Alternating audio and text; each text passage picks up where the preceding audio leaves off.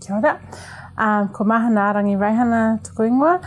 And I married uh, Hune Putu, Makawari Apikopa um, from Matawaya. Hmm.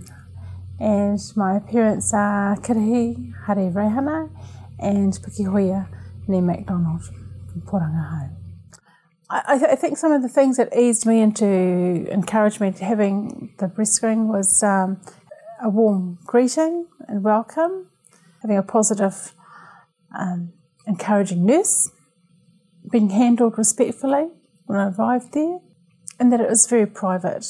You know, um, I'm really grateful for the public health service because all the services just all rolled together you know.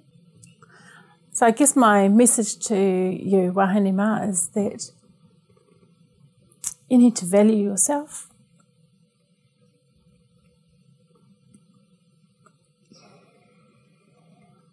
There's always going to be a crisis. There's always going to be somebody else in need. But you need to recognize and value yourselves take care of your bodies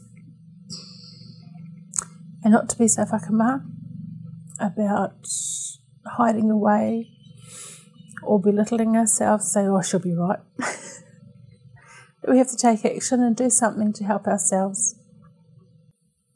Kia ora koutou wahine mā. My final words are no mai hara mai, let's breast screen. Breast screening is free for eligible women between 45 to 69 years. Call 0800 270 200.